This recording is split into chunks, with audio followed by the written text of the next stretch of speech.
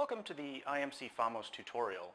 In today's session, I would like to show you how you can load different file formats in IMC Famos.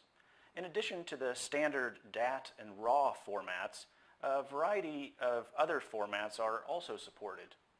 With the help of import filters, these formats can be easily loaded into the software. For importing ASCII and Excel files, IMC Famos offers an additional assistant where you are able to specify all the relevant settings. This is what we're going to look at today, so let's go ahead and get started. After starting the IMC Famos program, I will now go to the Extras tab, then on Options, and then under Browser, click on Data Sources. The default setting is File Format Famos, which means the use of the file extensions DAT and RAW. Now what I would like to show you is when you would like to import other file formats. As you can see here, there are a wide range of possibilities. Here I will change this setting to Auto. And now click OK. Now I switch over to the browser, and here I can select a file. In this example, I'm going to navigate to the folder DAT. On the right side, you can see that there are several files in several different formats. Here we will double click on Test Bench 3 for example. Then the ASCII Import Assistant pop-up window will open. In the lower section of the window, a preview is displayed of how the data will appear in the FAMOS program. As can be seen in this example, the assistant has already displayed the data in a certain arrangement. However, by selecting and using the various options from the tabs above, the displayed data can be customized. As the default setting in our example, the first column has been designated as the time column, which can be seen by the highlighted green numbers. However, because this is a temperature channel, I'd like to change the setting under time column from real first column to none.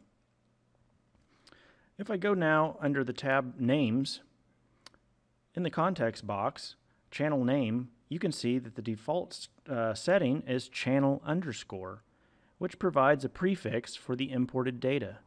In this example, however, we would like to use the information that comes directly from the imported data. So we will change the selection of where the information is found from fixed text, not from file, to inline number. Now we have the possibility to select from which line number the information will be taken from. In this example, uh, we will leave it as line 4 because that's where you can find uh, the channel's temperature, force, and pressure. Then click on OK.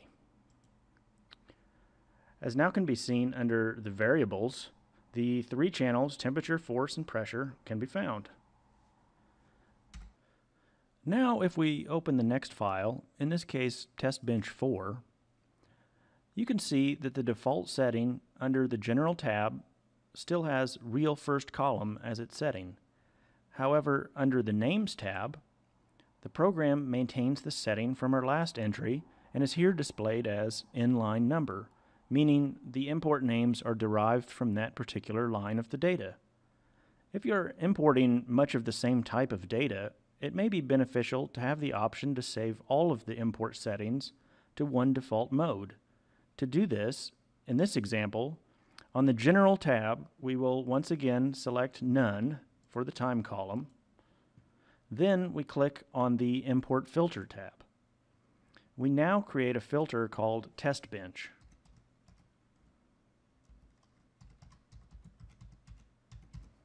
And now we will click on OK. As you can see, uh, in the left side under the variables, we now have all three of our data groups loaded into the software.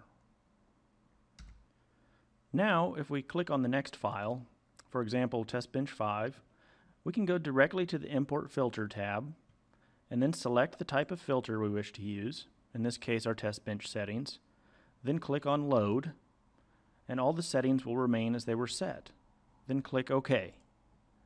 As you can see, the next group of data now also appears under the Variables tab. That's all for today's tutorial. Thanks for your attention and stay tuned for the next IMC FAMOS tutorial.